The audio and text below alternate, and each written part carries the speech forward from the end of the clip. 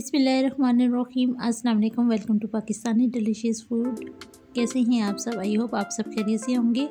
आज मैं आपके लिए बहुत ही डिलीशियस और यमी सी रेसिपी लेकर आई हूँ। तो आज हम अपने किचन में चिकन लजानिया बनाने वाले हैं। लजानिया एक इटालियन रेसिपी है और आज हम इसको पाकिस्तान और इंडियन स्टाइल में बनाने वाले हैं। इसको बनाने के लिए हमें जो चीज़ें चाहिए तो सबसे पहले हमने यहाँ पर लजानिया शीट्स लेनी है। ये इजीली आपको मार्केट में मिल जाएँगी। और इसके साथ हमें बोनलेस चिकन चाहिए वन कप शिमला मिर्च बारीक कटी हुई हाफ़ कप और इसके साथ टमाटो केचप हमने हाफ़ कप ले लिया टमाटर लिए एक अदद. और शिमला मिर्च हमने ले लिया कुछ इस शेप में, हमने इसको काट लिया था. चैटर चीज़ चाहिए वन कप और इसके साथ हमने टमा, यहाँ पर प्याज ले लिया एक अदद. नमक, हंसब ज़रूरत black pepper half tablespoon सुरख मिर्च पाउडर हाफ़ टेबल स्पून और सोया सॉस हमने लिए, ले लिया और चिली सॉस हमने ले लिया यहाँ पर.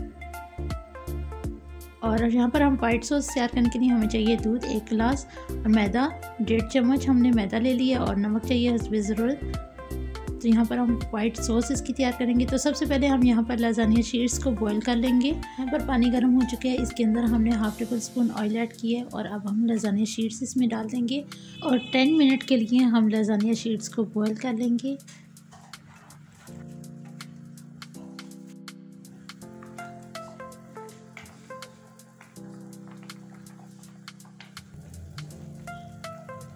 यहाँ पर लजानी शीट्स उसी में बॉयल हो चुकी हैं। बहुत ज़्यादा इनको बॉयल नहीं करना। अब हम इनको निकाल लेंगे और यहाँ पर हमने लजानी शीट्स को निकाल लिया। इसके ऊपर मैंने ऑयल लगा दी है। अब हम यहाँ पर लजानिया तैयार कर लेंगे। तो सबसे पहले हमने यहाँ पर फोर टेबल स्पून ऑयल ले लिए।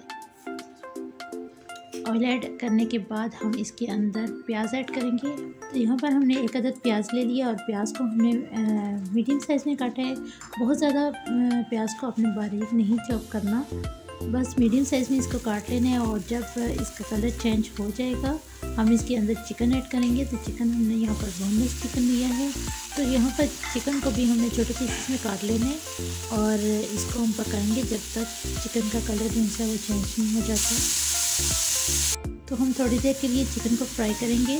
जैसे ही चिकन का कलर थोड़ा सा चेंज हो जाएगा गोल्डन का हो जाएगा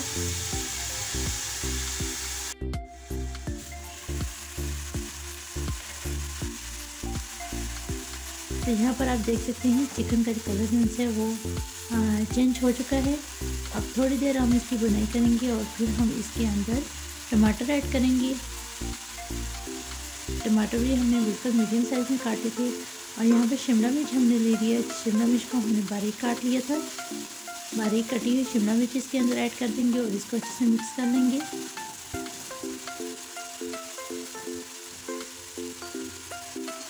दो से तीन मिनट हो चुके हैं हम इसको पकाते हुए। अब हम इसमें स्पाइसेस ऐड करेंगे। तो हमने यहाँ पर नमक और सुरख मिर्च पाउडर और ब्लैक मिर्च पाउडर ले लिया था। मिक्स कर देंगे, इसको थोड़ा सा भुनेंगे और इसके अंदर हाफ़ कप हमने यहाँ पर पानी ले लिए। पानी ऐड करने के बाद हम इसको कवर करके रख देंगे ताकि चिकन और वेजिटेबल जो सी वो अच्छे से गल जाए।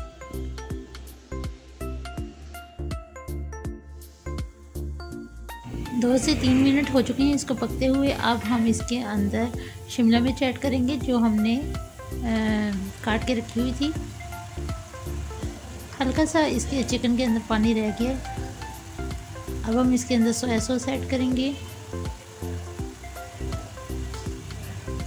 सोया सॉस हमने वन टेबल स्पून ले लिया chilli sauce one tablespoon.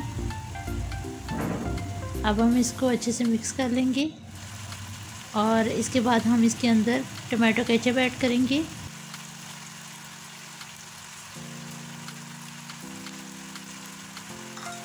अब टमाटो केचप को अच्छे से मिक्स कर लेंगे और यहाँ पर लजानिया हमें बिल्कुल ड्राई चाहिए तो इसके अंदर जो पानी है वो अच्छे से हमने ड्राई कर लेना है। कि लजानिया जो उनसे वो बिल्कुल ड्राई होता है। यहाँ पर ये तैयार हो चुका है लजानिया इसको साइड पे कर देंगे और अब यहाँ पर हम वाइट सॉस तैयार कर लेंगे। तो सबसे पहले हमने यहाँ पर वन टेबल स्पून ऑयल लिए और इसके अंदर one and half tablespoon हमने मैदा ले लिया इसको थोड़ा सा हम भून लेंगे। और जैसे ही मैदे के अंदर बबल बनना स्टार्ट होंगे और इसका कलर थोड़ा सा चेंज हो जाएगा, फिर हम इसके अंदर दूध ऐड करेंगे। और वाइट सॉस के अंदर आप चिकन पाउडर भी ऐड कर सकते हैं। तो मेरे पास नहीं था चिकन पाउडर तो इसलिए मैं ऐड नहीं कर रही।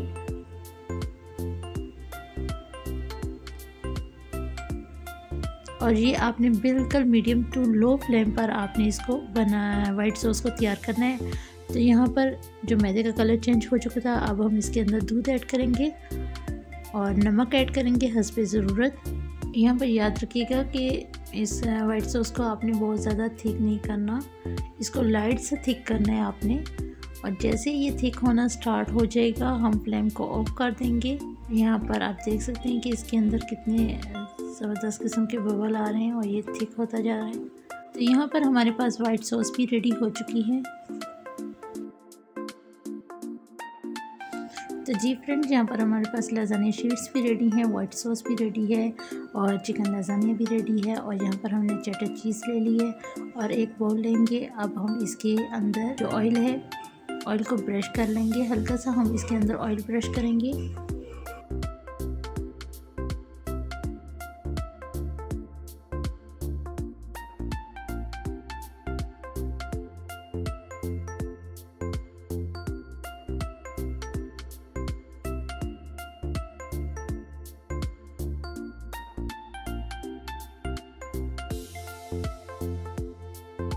तो हमने बोल के अंदर ऑयल ब्रश कर लिया। अब हम इसके अंदर वाइट सॉस ऐड करेंगे।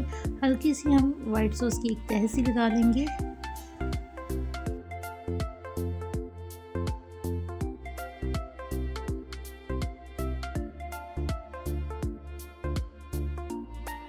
लजानिया तैयार करना बहुत ही इजी है और आप इजीली इसको अपने घर पे तैयार कर सकते हैं। कुछ मुश्किल नहीं है। अब हमने वाइट सॉस ऐड करने के बाद जो लाजानिया शीट्स थी, वो हम इसके अंदर ऐड करेंगे और यहाँ पे लाजानिया शीट्स जो थी, वो कुछ बड़े साइज़ की थी तो मैंने इनकी कटिंग कर ली थी। क्योंकि ये बॉल के अंदर जो उनसे वो फिट नहीं आ रही थी तो मैंने हल्का सा इनको काट लिया था।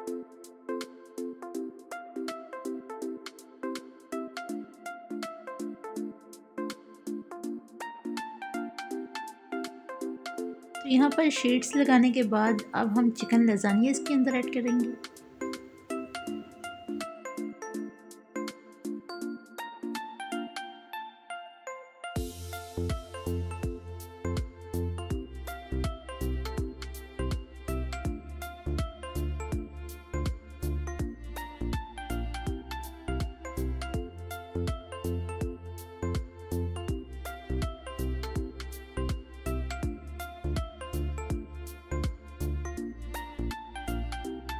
चिकन लसानी लगाने के बाद अब हम इसके ऊपर चटर चीज़ लगाएँगे।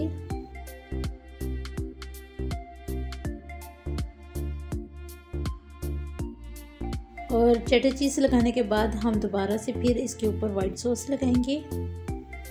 वाइट सॉस लगाने के बाद फिर हम जो शीट्स हैं हमारे पास वो लगाएँगे। और इसके ऊपर फिर हम चिकन लसानिया लगाएँगे।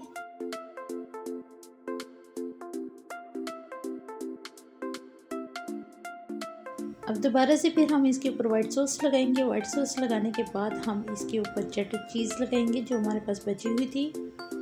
वो सारी हम इसके ऊपर लगा देंगे। और हम लसानिया जिनसे वो अवन में तैयार कर रहे हैं तो अवन को मैंने 180 डिग्री पर प्री हीट होने के लिए रख दिया था। और यहाँ पर हमारे पास शिमला मिर्च बची हुई थी, वो हम इसके ऊपर लगा देंगे। और तकरीबन हम इसको 20 मिनट के लिए ओवन में बेक होने के लिए रख देंगे। तो जी फ्रेंड्स, यहाँ पर लजानिया जो है, वो बेक हो चुका है और बहुत ही ज़बरदस्त लजानिया बना है। और आप इसको ज़रूर ट्राई कीजिएगा। आई होप कि आपको भी बहुत ही अच्छा लगेगा। मैं आपको नज़दीक से दिखा देती हूँ। आप देख सकते हैं, चिकन लजानिया बहुत ही मज़े का बना है। बहुत ही आसान है इसको बनाना। तो आप भी चिकन लजानी को ट्राई ज़रूर कीजिएगा। आई होप कि आपसे भी बहुत ही मज़े का बनेगा। तो कमेंट्स में मुझे ज़रूर बताइएगा कि आपको मेरी रेसिपी कैसी लगी। और अगर आपने मेरे चैनल को अभी तक सब्सक्राइब नहीं किया तो प्लीज़ मेरे चैनल को सब्सक्राइब करें। बेल आइकन ज़रूर प्रेस कीजिएगा ताकि मेरी आने वाली वीडियो का नोटिफिकेशन बसानी आपको मिल सके। प्लीज़ मेरी वीडियो को लाइक करें, अपनी फैमिली फ्रेंड्स के साथ ज़्यादा से ज़्यादा शेयर करें। और मुझे हमेशा अपनी दुआ में याद रखिएगा, अपना बहुत ज़्यादा ख्याल रखिएगा। मिलते हैं नेक्स्ट वीडियो में एक नई और मज़ेदार सी यमी सी रेसिपी के साथ। तब तक के लिए अल्लाह हाफिज़।